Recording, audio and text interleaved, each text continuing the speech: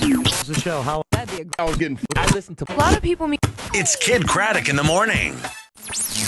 So uh, I might be the worst parent ever. So uh, Cason and I decided to go. There's a field over by our house, Kelly, and it's Yeah. just a big, huge field, and it has a soccer net, soccer post, or whatever, a goal. Yeah. And uh, I'm trying to teach him to play sports, and I figure if I It's teach not him, even two. I know, but he's the size of a three year old, so I figure if I get him started early, yeah. by the Yeah. time he's like five or six, he'll be so much further ahead than all the other you kids. remember seeing shots of Phil Mickelson at two, Yeah. swinging a golf club, and look how far that got Yeah. him. Tiger So too, yeah. I put Cason in his little uh, plastic car, and I pushed him all the way down to the to the field, and I brought a soccer ball along with me, and we got there. All right. And uh, he wanted nothing to do with the ball. He wanted me just to kick the ball, and then I would kick it as far as I could kick it, and then he wanted me to run and get it, and then he'd, and then he'd teaching you how to play So we, ba- I basically pa played fetch with myself. Well, maybe, or maybe he just wants to be a cheerleader. No, well that's fine too. That'd be sweet. You can meet a lot of girls being a cheerleader. you can get a mm-hmm. scholarship cheerleader Yeah, too. which is uh-huh. fine. So he was having a good time laughing at me chasing the ball around. And one of those times where I kicked it, I was running away from him, and I looked back, and he's over in some area of the of the field that we had not been to. I guess he ran over over to it, Yeah. and he's stomping around, and I see water coming up. Okay. The weird thing was that the water, the, the field was dry. So I was like, "Where's all this water coming from?" Uh huh. You know, it's just some random. So I walked over by him, and it was it was kind of a stream, and it, it lined up around the field, and there was a bit of a hill. So I figured maybe some water came down, and it just created a stream. Yeah. And so he's playing it, and I'm like, whatever. His his shoes are already wet. His pants are already wet. I already lost this battle. If Kids I love puddles. Yeah. It's, it's cool. and if I mm-hmm. pull him out of it, he's gonna throw a tantrum. I don't want a tantrum right now. I want him to have a good time. So I let him play in this puddle. All right. And uh, he eventually fell over, landed on his back. He thought that was hilarious, so he starts doing these splashing things, and little angels in there, and he got all muddy. And it's fine because I could wash your shirt, no problem. All right. So, and I started wondering, I'm like, where is this water coming from? Oh, no. And I started following it, and it came from behind this wall. And I said, oh, they might have a leak or something. So I just made sure I walked up there, and I turned this wall. I turned around the corner of the where this wall is. Yeah. Oh, and I see about eight porta potties.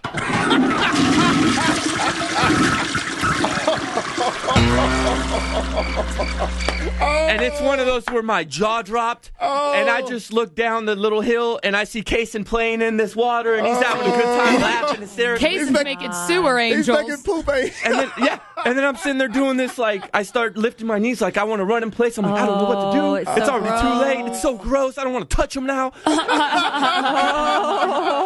so I look down and I'm like, Cason, stop! and he just looks at him and he's like, stop. So he gets up and he pops down on it oh. again because that's what stop means. Damage is done now. So damage is done. Oh, so I gotta walk down there. I'm like, all right, how am I gonna get this dude home without making sure he puts his hands in his mouth because he like he's a thumb sucker. oh. So I oh. walked down there and he had a long sleeve shirt on. So what I did was I pulled the sleeves over his hands and I tied them. I would have stripped him naked. Why? I Well, we would've to walk. him We had to naked. walk home. Put him in the car and run. But I needed to make sure he didn't put his hands in his mouth. so you made a baby straight jacket? So I made a baby straight jacket. I, and I cuffed it behind his back so he couldn't pull it forward. you hog tie him? I know it's bad. I told you I'm not a good parent. so I tied his pants and his hands together. So I made it so that it was behind him, and then I sat him down in his car as carefully as I could so that I wouldn't get all Actually, gross. I think that that's pretty smart. So he's he's sitting there and he's trying to lift his hands and he's getting angry and we're Uh-huh. like five minutes away walking from our house. So the whole time he's crying because I'm getting him and all these people are staring at me like, why does he have his son tied up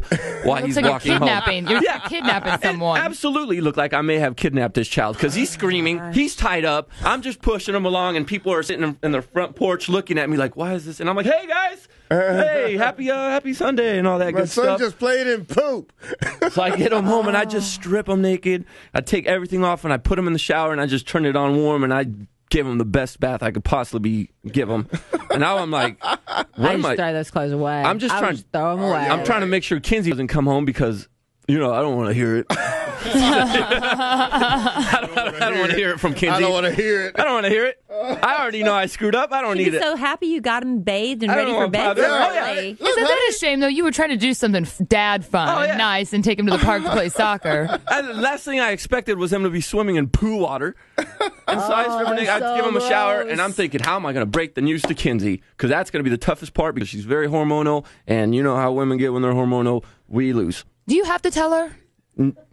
I don't know. I don't know. I mean, is that something that has to be no. told? So No. I was I was gonna tell her up until the point when she got home with Chloe from the mall, Mm-hmm. and when Cason and I were sitting on the couch watching football, and I could tell she got home and she was not very happy because Chloe was not. She was kind of fussy, and and so she walked in, and I could tell she's not happy. She's like, "How'd it go with Cason?" I was like.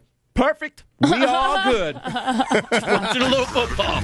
She's like, what is, why does he stink? So, Kinsey uh, just heard this story for the first time. Oh, I, was- Sorry, Kinsey. I figured honesty is the best policy, but I did not want to be home when I told her. No, no. oh, dang. You know what? To get even with you, she's going to text you the score of the Chargers game. Oh, yeah, do it, Kinsey.